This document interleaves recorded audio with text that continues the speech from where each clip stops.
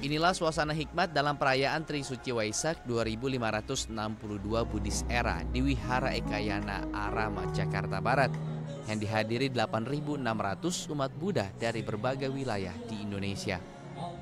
Perayaan Waisak tahun ini mengusung tema harmoni dalam kebinekaan untuk bangsa sebagai refleksi dari nilai-nilai agama Buddha yang mengajarkan keselarasan dalam kehidupan di tengah masyarakat.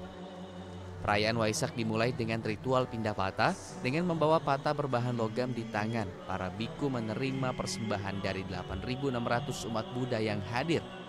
Dalam tradisi agama Buddha, pindah patah bermakna derma. Selain untuk kebutuhan hidup para biksu, dana persembahan umat ini akan digunakan untuk kegiatan amal. Acara dilanjutkan dengan prosesi puja bakti Waisak yang diiringi dengan lagu-lagu pujian. Nuansa hikmat dalam prosesi ritual keagamaan berpadu harmoni dengan budaya khas Indonesia yang tercermin dalam penggunaan baju adat tradisional Indonesia yang digunakan para pemuda-pemudi pembawa lilin pancawarna. Doa-doa untuk Indonesia yang dihaturkan agar perdamaian di Indonesia tetap terjaga di tengah kebinekaan. Jadi kita kembali mengetengahkan ajaran Buddha ya. Yang pertama yang disebut sebagai menjaga keharmonisan.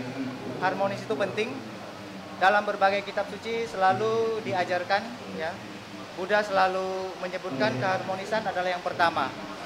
Jika kita ingin hidup berbangsa, bernegara, ingin hidup dalam komunitas, yang pertama yang harus kita tegakkan adalah keharmonisan.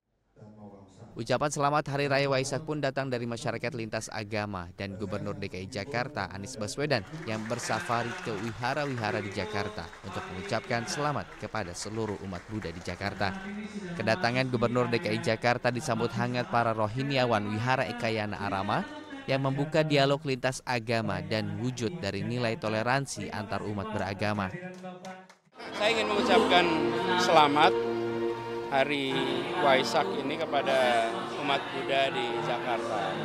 Karena itu pada siang hari ini saya mampir di Vihara Ekayana Arama ini untuk mengucapkan langsung dan bersyukur bertemu dengan begitu banyak umat Buddha yang hari ini beribadat di sini.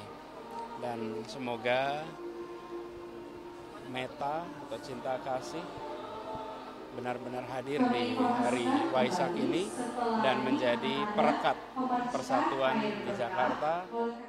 Prosesi perayaan Waisak ditutup dengan pemberkatan air suci oleh anggota Sangha dalam doa. Umat Buddha diharapkan dapat mengamalkan ajaran cinta kasih universal dalam hidup bermasyarakat untuk memperkuat persatuan bangsa.